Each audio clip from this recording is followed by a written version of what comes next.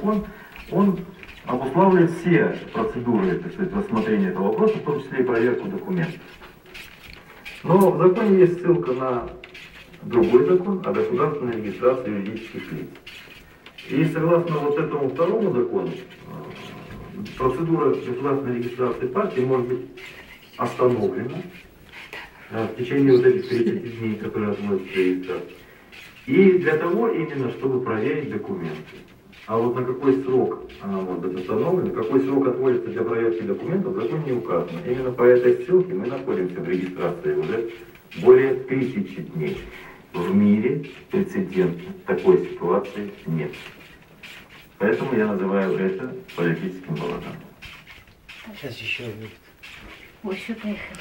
Не, сейчас еще А мы не оцениваем шансы. Ну, регистрацию. Класс.